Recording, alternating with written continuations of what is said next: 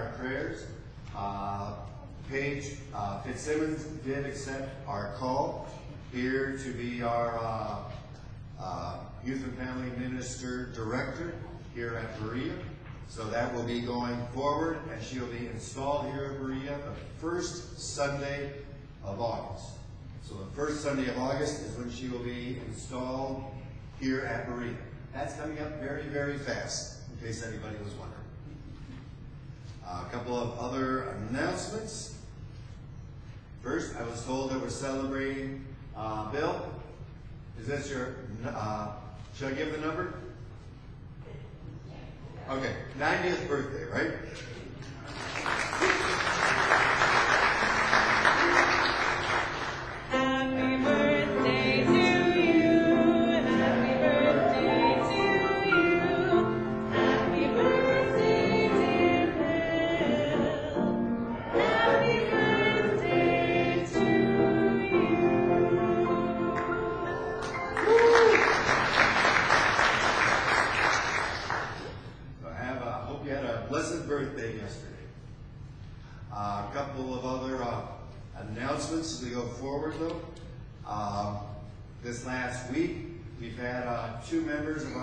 Congregation that have passed away and are now with the Lord.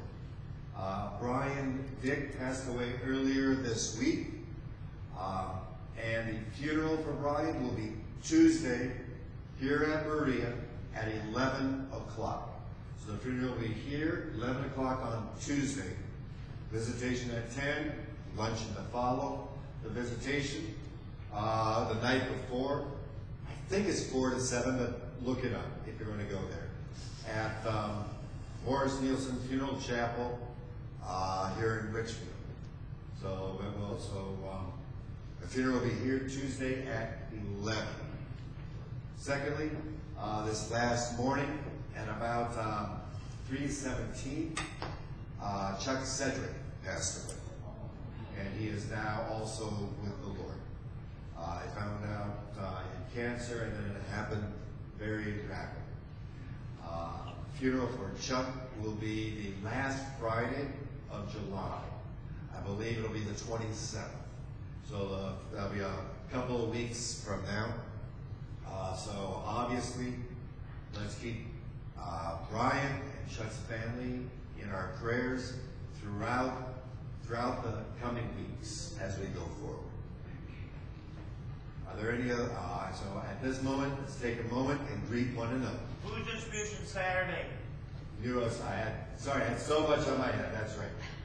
And uh, lastly, uh, food distribution will take place this coming Saturday morning. Uh, and obviously, always need as many hands as we can get going forward. The more hands, the more fun it is. So if you come, give your hands to help makes everything a better blessing as we go forward. So this next Saturday, uh, food usually gets there 7.30ish. Uh, we start about 10, goes to about noon, and then we clean up afterwards. So if you're able to help at any portion of that, that'd be a wonderful blessing. Let's take a moment and greet one another. Please rise.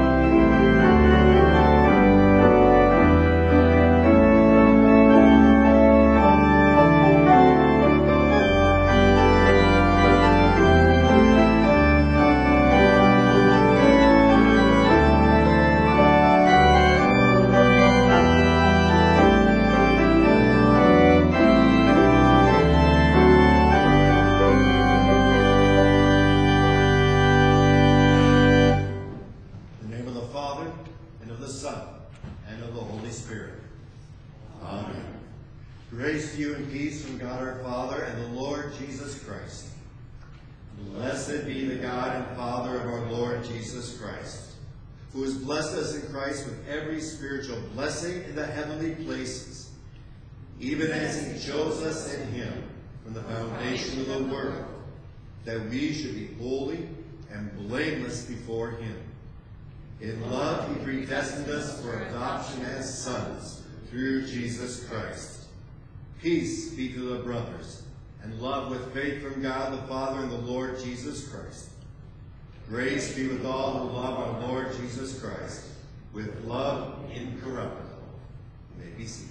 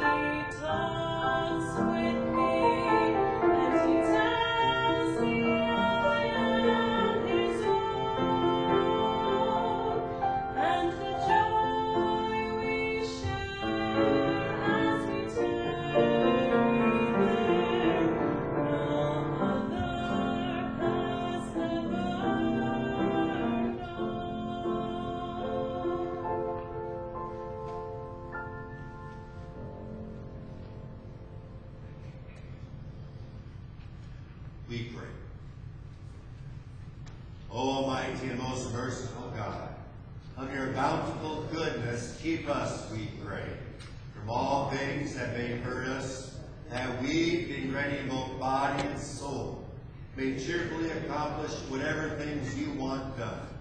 Through Jesus Christ, your Son, our Lord, who lives and reigns with you in the Holy Spirit, the one God, now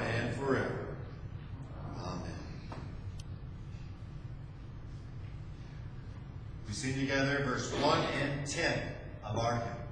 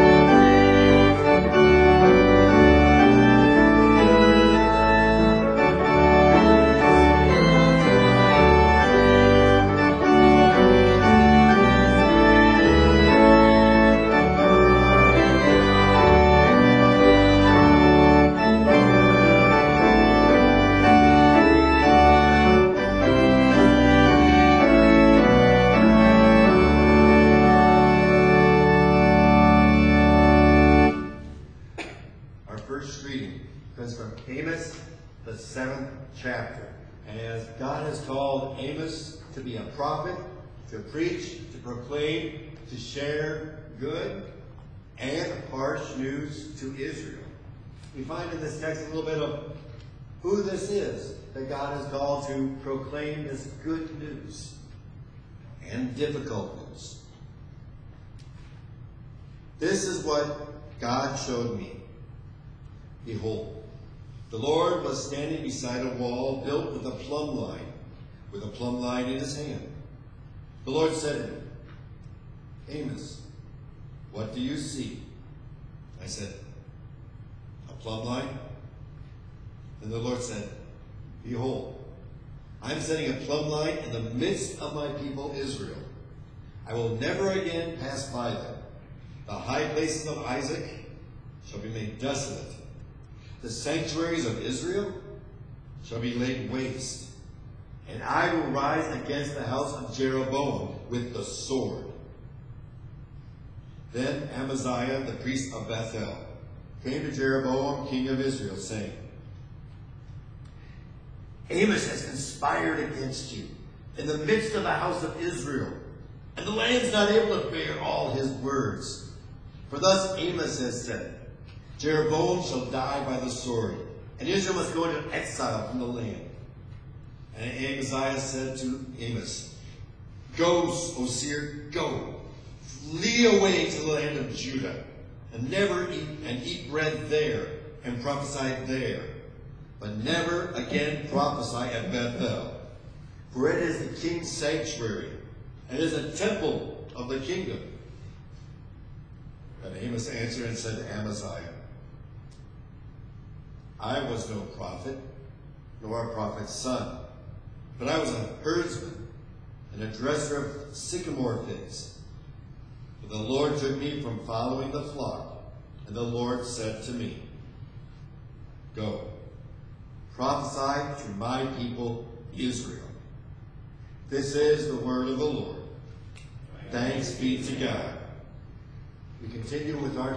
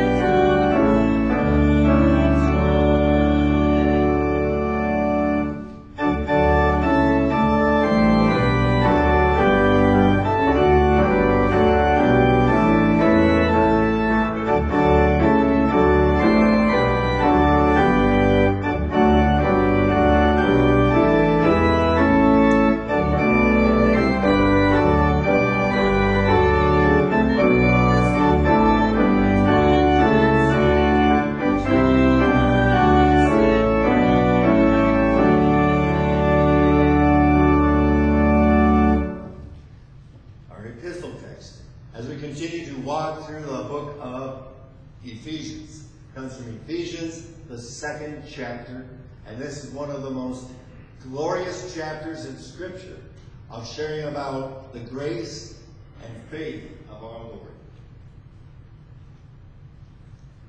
And you were dead in the trespasses and sins in which you once walked, following the course of this world, following the prince of the power of the air, the spirit that is now at work in the sons of disobedience, among whom we all once lived in the passions of our flesh, carrying out the desires of the body and the mind, and were by nature children of wrath, like the rest of mankind.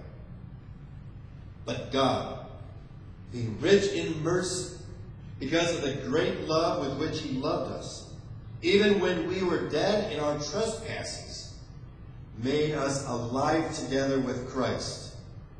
By grace, you have been saved and raised up with him and seated us with him in the heavenly places in Christ Jesus, so that in the coming ages he might show the immeasurable riches of his grace and kindness towards us in Christ Jesus. For by grace you have been saved through faith. And this is not your doing. It is the gift of God. Not a result of works, so that no one may boast. For we are his workmanship, created in Christ Jesus for good works, which God prepared beforehand that we should walk in them. This is the word of the Lord. Thanks be to God. And we skip ahead to our gospel reading, as the Holy Gospel is found according to St. Mark, the sixth chapter. Glory to you, O Lord. Now, King Herod heard of it, for Jesus' name had become known. Some said, John the Baptist has been raised from the dead. That is why his miraculous powers are at work in him. But others said, he is Elijah. And others said, he is a prophet, like one of the prophets of old. But when Herod heard of it, he said, John, whom I beheaded, has been raised. For it was Herod who had sent and seized John and bound him in prison for the sake of Herodias, his brother Philip's wife, because he had married her. For John had been saying to Herod, It is not lawful for you to have your brother's wife. Herodias had a grudge against John and wanted him put to death. But she could not, for Herod feared John, knowing that he was a righteous and holy man, and kept him safe. When he heard him, he was greatly perplexed, and yet he heard him gladly. But an opportunity came when Herod, on his birthday, gave a banquet for the nobles and military commanders and the leading men of Galilee. For when Herodias' daughter came in and danced, she pleased Herod and his guests. And the king said to the girl, Ask me whatever you wish, and I will give it to you. And he vowed to her, Whatever you ask me, I will give you up to half my kingdom. And she went out and said to her mother, For what should I ask? And she said, The head of John the Baptist. And she came in immediately with haste to the king and asked, saying, I want you to give me at once the head of John the Baptist on a platter. The king was exceedingly sorry, but because of his oaths and his guests, he did not want to break his word to her. Immediately the king sent an executioner with orders to bring John's head. He went out and beheaded John in the prison and brought his head on a platter and gave it to the girl, and the girl gave it to her mother. When the disciples heard it, they came and took his body and laid it in a tomb. This is the gospel of the Lord. Praise to you, O Christ. We continue with the final hymns of our final verses of our hymn.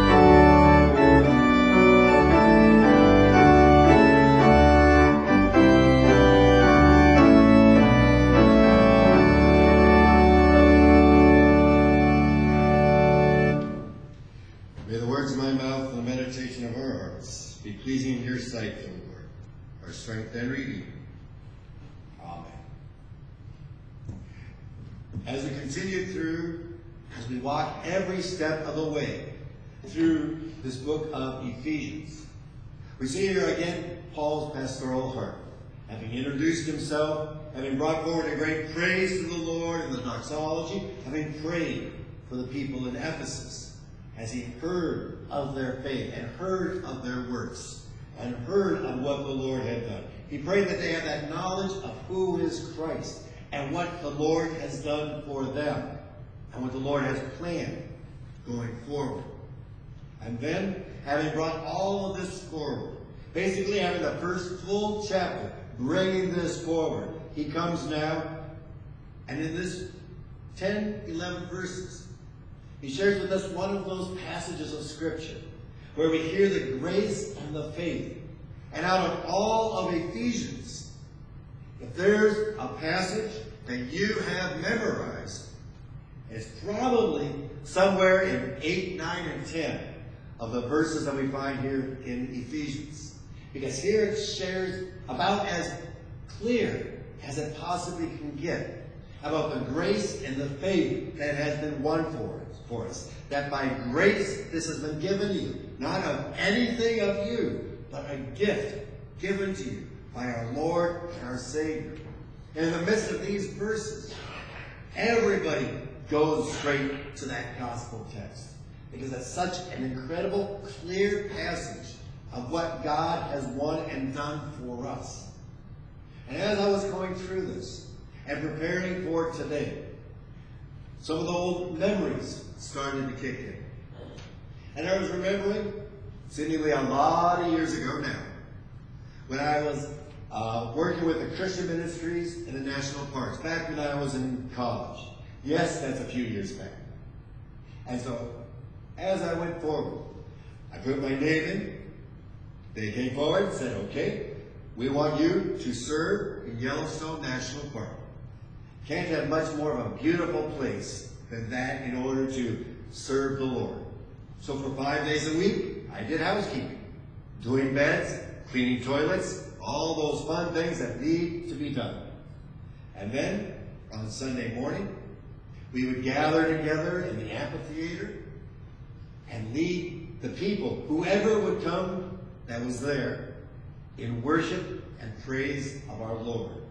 And share the incredible grace that God has given to us. Now, as I was there, they kind of had us in these dormitories type structures.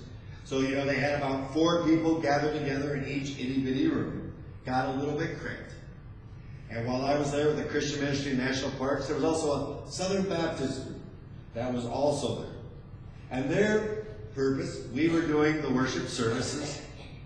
Their point was while they were doing housekeeping, they were then kind of starting some Bible studies and leading people in going through God's Word. So my thought was, sounds good.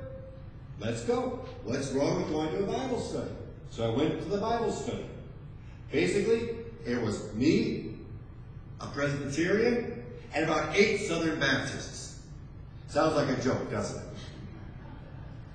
But there we are gathered together in this dorm. You got, you know, about, I think it was uh, eight, there was ten of us that were there. You have a couple of people sitting on the beds. The rest of us kind of gathered around on the floor, sitting cross-legged. We were in our teens and low 20s, so we were easy to get up and down at that point. And we all have our Bibles as we're gathered around. Now we come to this text today. One of the most incredible, glorious passages of God's grace and love towards us. And so we started going through it.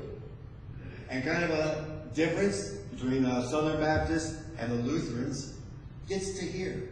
Now, Lutherans are Christians, Southern Baptists are Christians, so these are us Christians talking and sharing and going through God's Word together.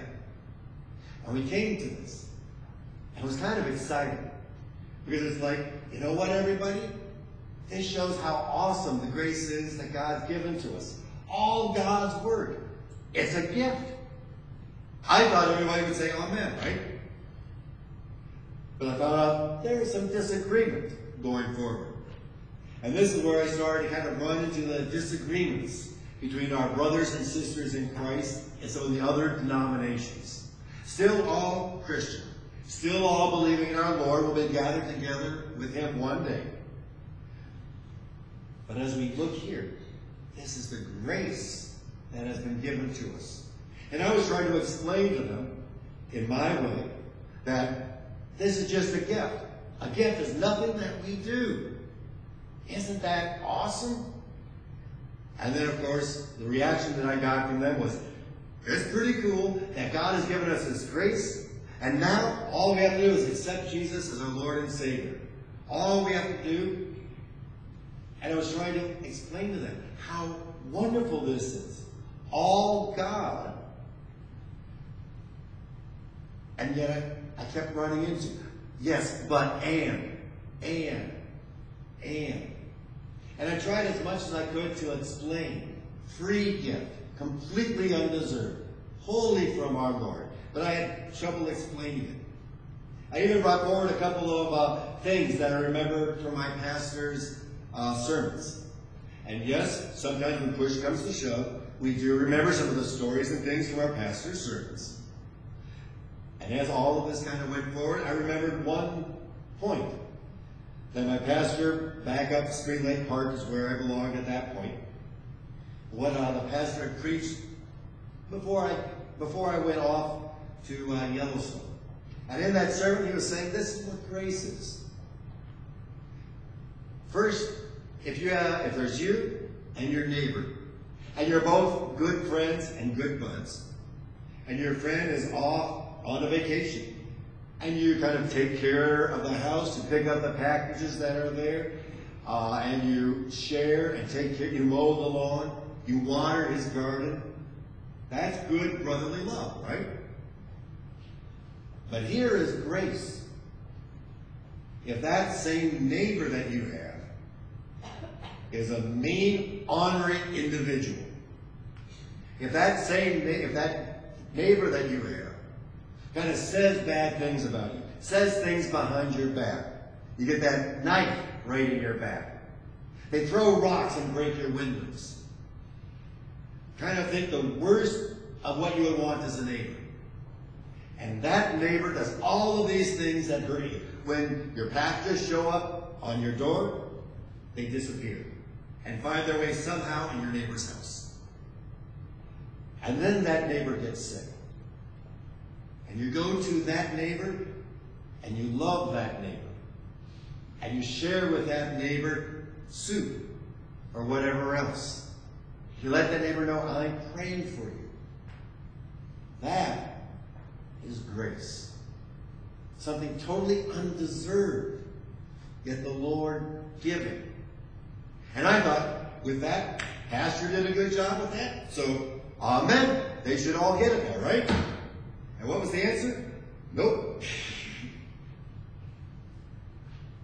And I just tried as much as I could. And I just couldn't figure out how to explain it to them. Now, a few years later, I started to kind of figure a few more things out. And as I was looking at this text, I started to realize that what I had done is I had jumped so fast to grace, which is a good place to jump to, isn't it? I had jumped so fast to Jesus, which is a good place to go to. But I had forgotten what Paul did in this text. Paul, having brought all of this forward, boy, I'm really skipping ahead here. There we go. Oh, I'm right. Paul, as he's going forward, shares that grace of God absolutely. By grace you have been saved by faith. This is not from yourselves. It is the gift of God. What I had failed to do was to go back to verse 1. I had immediately jumped up to verse 8, which is the incredible gospel, the incredible faith, the incredible gift. Instead, I needed to go back to verse 1. Because that's kind of where it all comes from. Because in verse 1, and if you just kind of look at your reading here, you'll notice that there at verse 1, it starts, and you. You get down to verse 4, but God. What Paul is doing here is those first three verses that start with but you is the law and pointing out our sin. Once you get to verse 4, but God, that's where we come into grace. That's where we come into faith. There we come into what God has done for us. So the first three verses, Paul is bringing the law to the people. And you notice that these are all Christians. He's writing this to the church in Ephesus. So they know their Lord. They know their Savior. And yet Paul immediately goes to the law. It's a very short 11 verse sermon going on here. And what Paul starts with, but you were dead in the trespasses and sins. So as Paul's talking about our faith, he's talking about our spirit, our soul. Where do we stand before our God? When we're left off to our own devices, that is dead. Nothing can be done. Nothing can be accomplished. Nothing can be taken care of. If someone is dead, there's nothing they can do. And that's where I needed to start. I needed to start in order to show how incredible God's grace is, with where we actually stand before He came and gave us grace. Because the world wants to go, or the church, and part of us wants to go straight to the grace, don't we?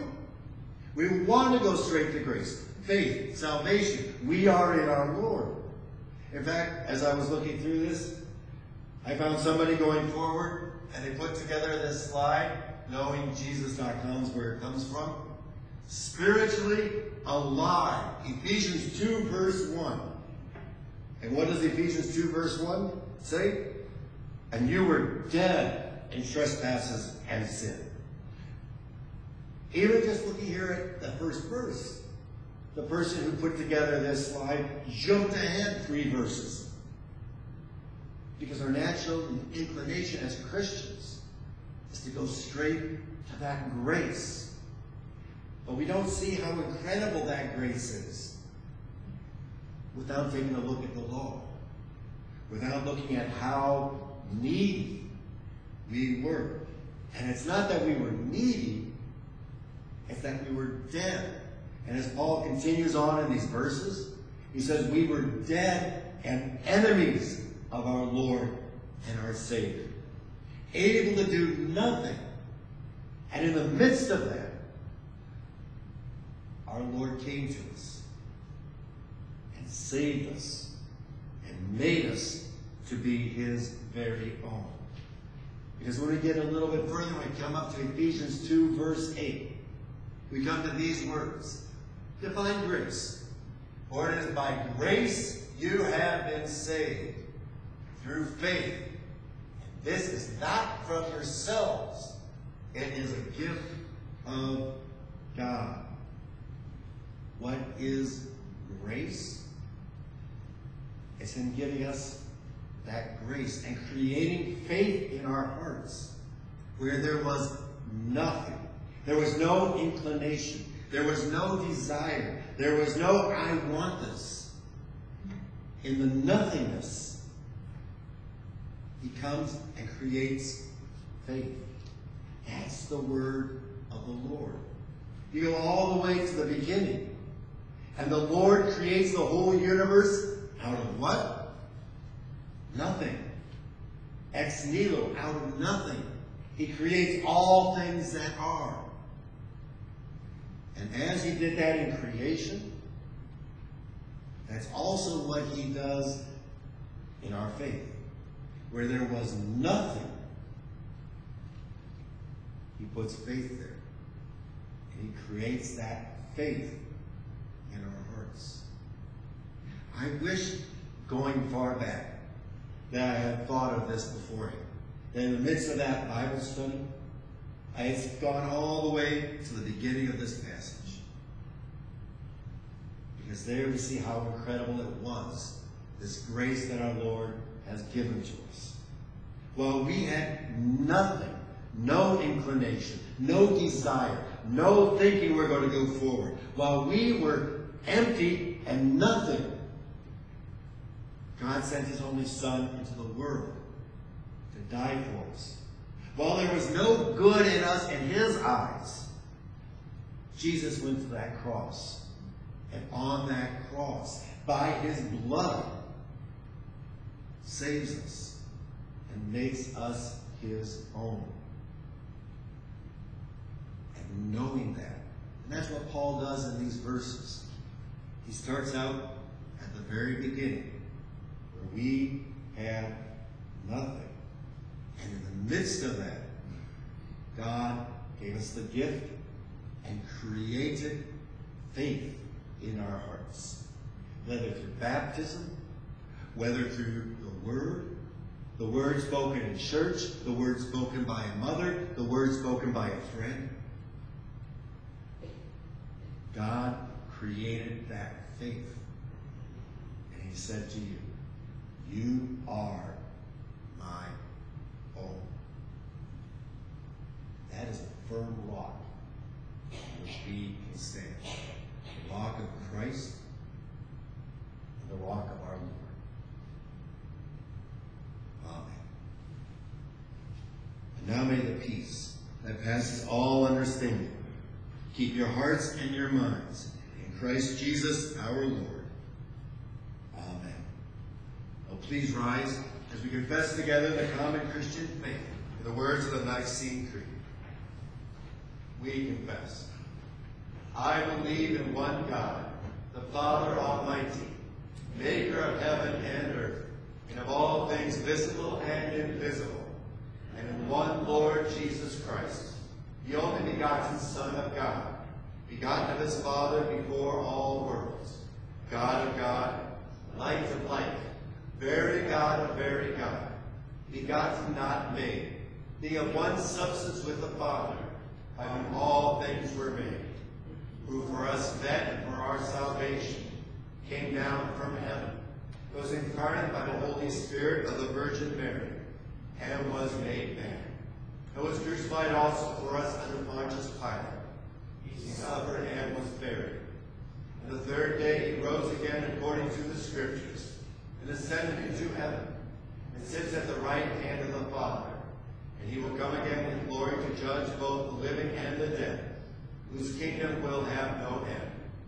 And I believe in the Holy Spirit, the Lord and giver of life, who proceeds from the Father and the Son, who with the Father and the Son together is worshipped and glorified, who spoke by the prophets. And I believe in one holy Christian apostolic church. I acknowledge one baptism for the remission of sins, and look for the resurrection of the dead and the life of the world to come. Amen. You may be seated.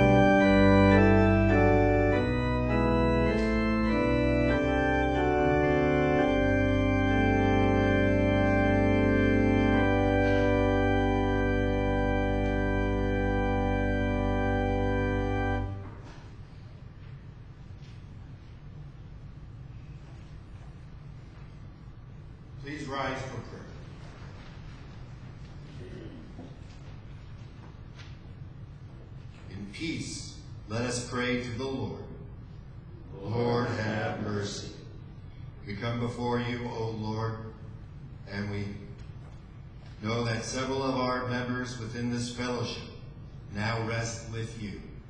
We ask, Lord, that you would watch over their families, bless them, O Lord. We know that they are no longer in tears or in pain. They are before your glory.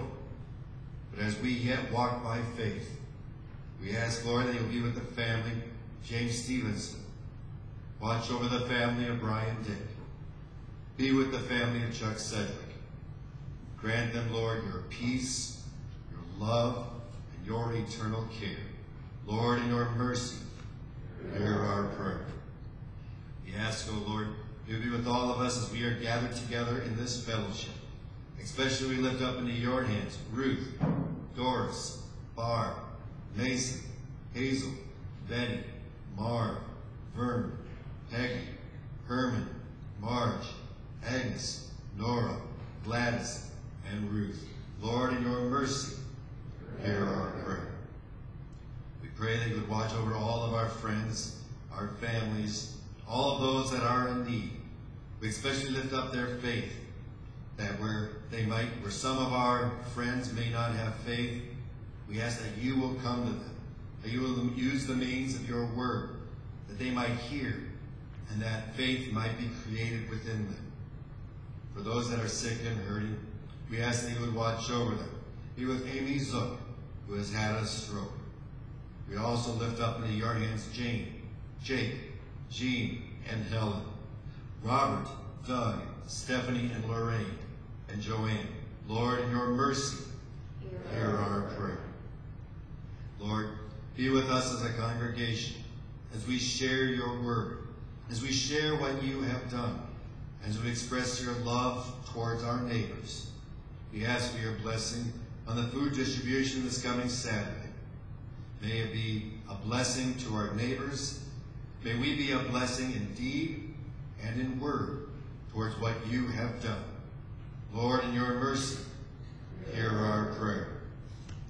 We ask, O Lord, that watch over this nation into which you have placed us. Be with our military personnel throughout this world and bless them in their duty. Watch over our elected leaders. We ask that you would give to them a servant's heart. Give to them, Lord, your wisdom and the strength to follow in your will. We pray, Lord, for our president and vice president, for our Congress, Supreme Court, and judiciary, for our governor, our legislature, and all of our elected officials. Lord, in your mercy, hear our prayer. We ask that you be with those who are sick and hurting. Be with David Brown. Be with Rachel, Rachel Cassandra. Bless them and keep them.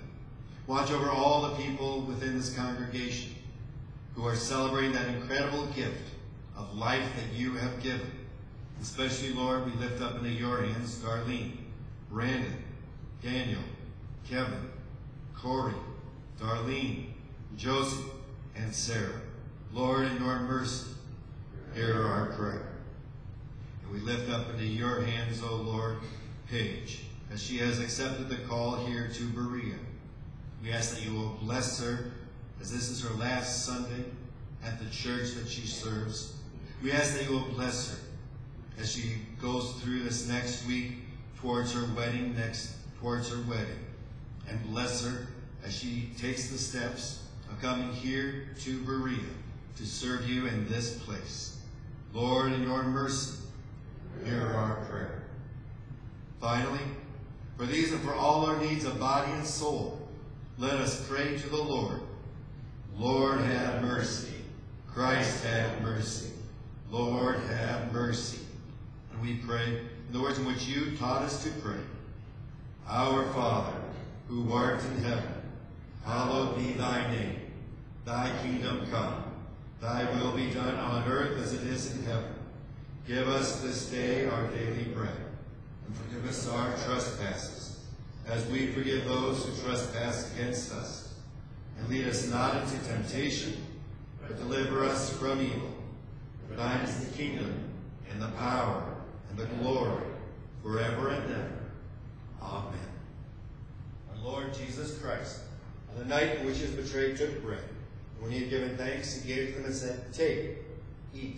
This is my body, which is given for you. This do in remembrance of me. The same manner also took the cup after supper. And when he had given thanks, he gave them and said, Drink of it, all of you. This is my blood of the new covenant, shed for you for the forgiveness of sins. This do as oft as you drink it, in remembrance of me. The peace of the Lord be with you always. May be seated.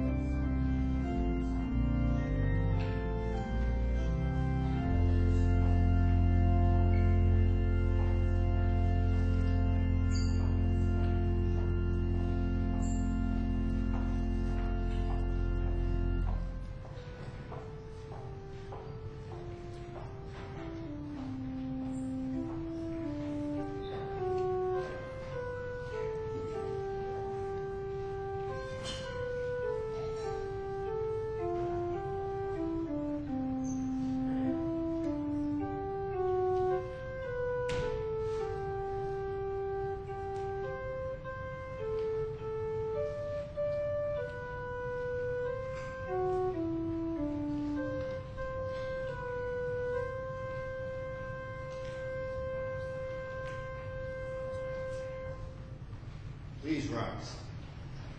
His body and blood strengthen and preserve you in the true faith to life everlasting. Depart in peace. Amen. We pray. We give thanks to you, Almighty God. that You have refreshed us with this salutary gift and implore you of your mercy. to Strengthen us in faith towards you and love toward one another. Your Son, Jesus Christ, our Lord. Amen. Lord bless and you. The Lord make his face to shine on you and be gracious to you. The Lord lift his countenance upon you and grant you peace. Amen. We sing together our closing hymn. But the Lord my God.